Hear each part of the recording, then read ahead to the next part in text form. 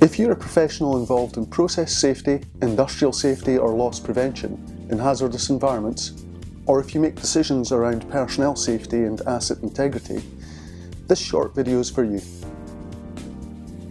I'm going to take the next few minutes to provide an overview of our decision support tool that's focused on making process safety management accessible to everyone in your organisation. But first, I'd like to talk about some of the common challenges many in the industry are facing around management of safety critical elements and highlight some of the questions being asked across the industry at the moment. 1. There's no shortage of data. ERP systems such as SAP, enterprise asset management systems such as Maximo, Pi, SCADA, spreadsheets, and then a plethora of third-party systems. 2. There's no single joined up view of the information that supports the important decisions you have to make on a daily basis. For example, which projects do you allocate budget to? This can all too often come down to who shouts the loudest. 3. Ironically, the more raw data we have, the more of a challenge it becomes to make decisions. 4. This big data is slowing us down. It's actually making us less effective. And lastly, five, communicating the key safety critical touchpoints is becoming too laborious. Engineers end up spending more time generating weekly reports for management and less time managing. I'd like to share some of the questions we've heard which initially prompted us to develop our data visualization tool. How can we get a full and complete view of our barrier health? How can we objectively challenge the integrity of our safety critical data? Do we have a clear line of sight of our safety critical data? Do we have a clear view of cumulative risk across all assets? Can we be 100% sure about the safety of our workforce and the integrity of our assets? Clarity PSM has been developed by industry experts to provide a clear line of sight of an organisation's safety critical elements. And it provides a simple, clear and effective tool to visualise cumulative risk across an organisation's operated assets. It does this by taking snapshots of your safety critical data at predetermined intervals, so that could be hourly, daily, weekly, and saves this to the Clarity database. It then presents this back to you using our Bowtie barrier model. Having access to a bird's eye view of all of your organisation's safety critical data in one place provides you with a tool that's there to support the big decisions that you're expected to make on a daily basis. I'm going to start off with the barrier model. After you select an asset, you're presented with an interactive bow tie showing the leading and lagging events that could contribute to a major incident with a clear view of the red, amber and green status.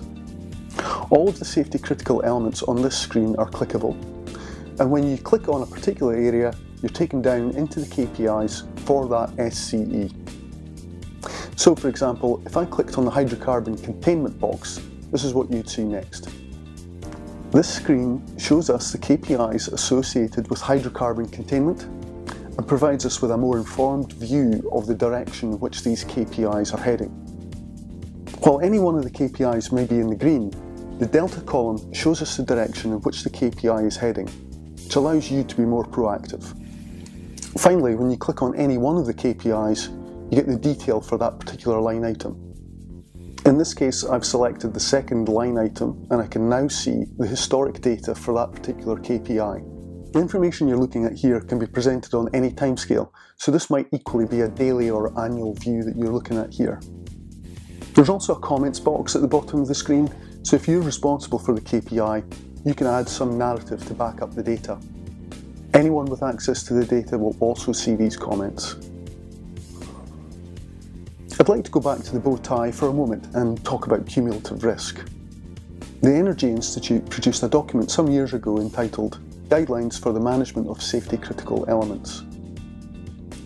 That document talks about primary major hazards and highlights the relationship between these PMHs and safety critical elements.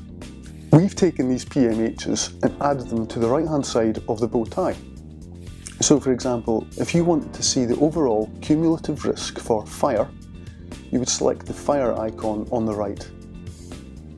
You're then presented with safety critical elements on the bow tie that relate to fire, with the primary major hazard box colour coded red, amber or green to indicate the status of that PMH. The number in the PMH box at the top right represents the weighted percentage of the associated KPIs, in red in this particular case. So you can see how this feature would steer you away from false positives and open up otherwise unseen risks to your plant or asset. And if you click on the PMH box at the top right, you're then presented with a bar graph showing the individual safety critical elements and their status. And another click, this time on one of the bars, takes you down into the KPIs for that safety critical element, and so on. You can also see a portfolio view of all of the assets under your responsibility, as we've shown here. While we've used these PMHs in this particular example, you can use Clarity to identify many other types of cumulative risk, such as loss of containment, asset integrity, pipeline corrosion, or perhaps on the human factors, training and competency gaps. Clarity is also accessible from a smartphone and tablet, so your decision support doesn't have to end when you leave the office. So to recap on the key benefits, Clarity is providing you with a rolled up view of all safety critical elements. Providing you with an informed decision support tool across all of your assets. It promotes the standardisation of your performance measures. It eradicates the admin effort in producing reports. It removes corporate risk by taking away those spreadsheets that you're currently using to manage safety critical data. And it also drives positive behaviours across the entire business. So before I go, I'd like to leave you with this thought. Over the last 30 years, a pattern has evolved that shows a clear association between a drop in the price of oil and major incidents occurring. One verification body we spoke with said it's common for a drop in the oil to be followed approximately 18 months later by a major incident. I hope that's given you a good overview of Clarity PSM and its capabilities. Contact me if you'd like to understand more or to arrange a demonstration. Thanks for watching.